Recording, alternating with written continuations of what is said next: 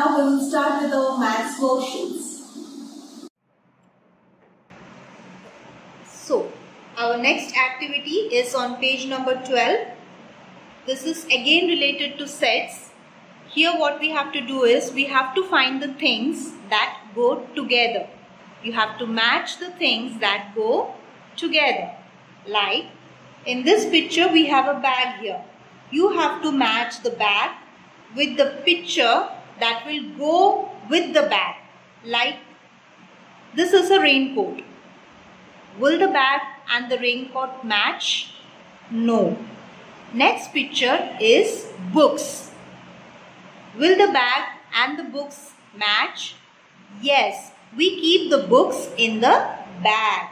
So the bag and the book match together. So what we have to do is we have to match the bag with the books.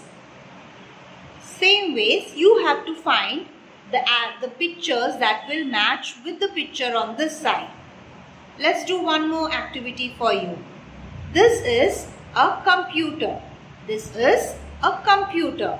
So you have to find what will match with the computer here. Does the computer match with the raincoat? No. Does the computer match with the cup and saucer? No.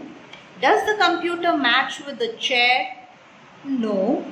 Does the computer match with a mouse? Yes. We need a mouse to operate this computer. To use this computer, we need a mouse. So what we have to do is, we have to match the computer with the mouse. This is how you have to match the things that go together. You have to find what will match with the rest of the pictures and match it on this page which is page number 12 things that go together on your in your numbers book. Thank you. Now our next activity is on page number 13 in your maths book. This is again related to comparison of sets. What we have to do here is you have to compare the sizes of the given objects and Color the circles according to the size. Let me explain this to you. Here we have three dolls. Can you see three dolls? They are all different in sizes. This is very small in size. Okay. This doll is a bit bigger than the small doll and this is the bigger one of the three. So what is written over here is there are color codes given. So if the if the if the object is very small you have to color it in blue. If the object is a bit bigger than that then you have to color it in green. And the most biggest object will be colored in red. So let's do one activity for you. Here out of these three dolls this is the smallest one so i will color this circle in blue. I will color this doll and the circle below it in blue color.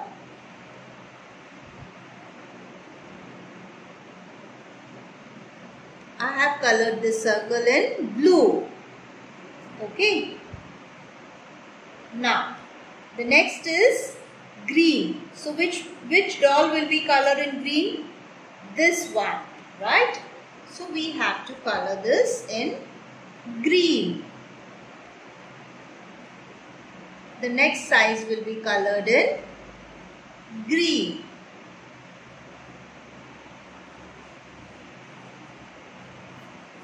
Now, which is the biggest doll? Of these three, this doll is the biggest. So, the biggest doll will be colored in red. So, we have to color this doll in, the circle below this doll in red.